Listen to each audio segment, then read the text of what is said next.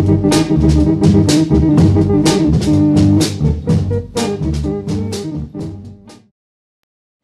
think it would be appropriate to ask you to stand just for a moment of silence for Davy and other colleagues who may have been lost to us. It's been an honour to be your branch secretary and I would like to thank everyone who helped make 2009 a success.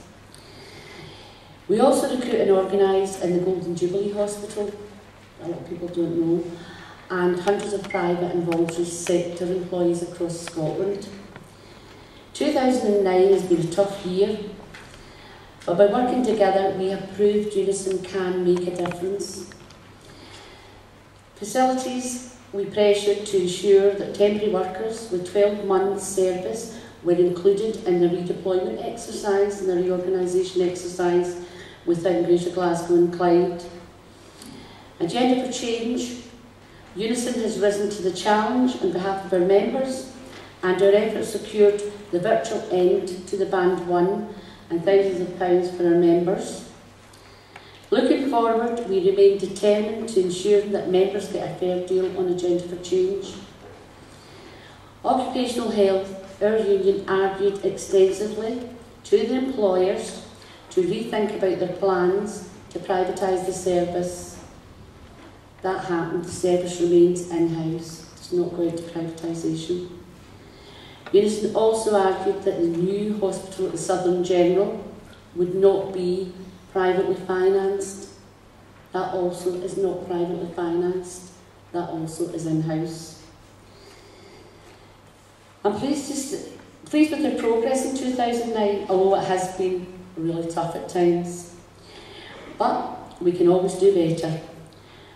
Looking forward, if 2009 was tough, 2010 will create its own challenges that we have not seen in the public sector, even in the darkest years of Thatcherism. We're working with kids that are about 11 years old, you know, and some of the forms are coming back with perceptions like, oh, they're over here to steal our jobs. So clearly there's a need for anti-racist intervention, and I don't think 11-year-old kids are coming up with that idea themselves. It's clear that we've got to work with adults, it's clear that we've got to work with the media um, in educating our communities against racism. And we've developed a, a media um, equipment for the branch so that we'll be able to make our own films over the next um, wee while. So hopefully you'll be seeing a bit more of this. But this was entirely made by those branch resources and it's, um, it's, it's a little um, film to show all the kind of work that went on over the year.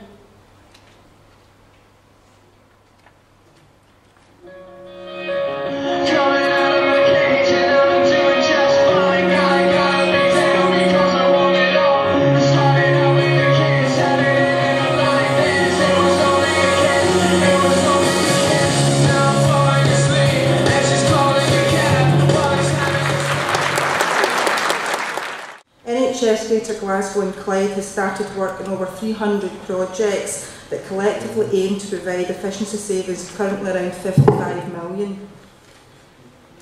This is proposed to be achieved via a variety of routes, including bed reduction, hospital site closures and staff reductions. Comrades within the community and voluntary sector face ongoing change and that's with regard to providers being brought in based on cost and not on the quality of service. I urge you to support this motion and in doing so you are calling on the branch committee to one, continue to campaign for improved investment in public services to deliver a health service that we are proud to deliver. Two, to promote Unison Scotland's campaign on being positive about public services, commonly known as revitalising our public services. As part of that, I urge you to attend the Stop the Cuts March and Rally on Saturday the 10th of April. Details are on your shares. And we would also call on the branch committee to campaign and support our members who face cuts in jobs and services within NHS Greater Glasgow and within the community and voluntary sector. In doing so, we can stand together and we can highlight the need not to cut but to invest in our public services. Please support this resolution. It's going to be challenging. Um, uh, the motion paper earlier said suggested that the budget cut in NHS Greater Glasgow and Clyde was 55 million pounds. That's what the figure was in January when that motion was written. That number is now near 61 or 62 million pounds, and it kind of changes every time you, you meet with the employer. Realistically, for NHS Greater Glasgow and Clyde workers, that's 300 plus projects which will seek to take that money out of public service uh, sector services. Both the Director of Finance and your Chief Executive have said we can't make any more savings by mucking about with the pharmacy, mucking about with stores, mucking about with central services, uh, central delivery services. We can only make that kind of scale of saving by having less staff doing services in a different way. In terms of the bargaining agenda, you know, NHS Greater Glasgow and as an employer are trying to squeeze the organisational change policy that we have.